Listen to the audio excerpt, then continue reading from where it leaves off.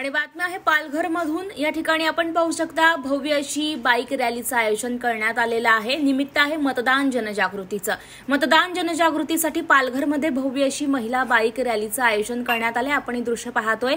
महिला पोलीस देखील या रॅलीमध्ये सहभागी झालेल्या आहेत. तर अनेक महिला आपल्या पारंपरिक वेशभूषेमध्ये या ठिकाणी सजून धजून बाईक रॅलीमध्ये सहभागी झाल्याचं आपल्याला पाहायला मिळत आहे उत्सव लोकशाहीचा सगळीकडे लोकसभा निवडणूक दोन हजार चोवीसच्या निमित्ताने साजरा केला जातोय.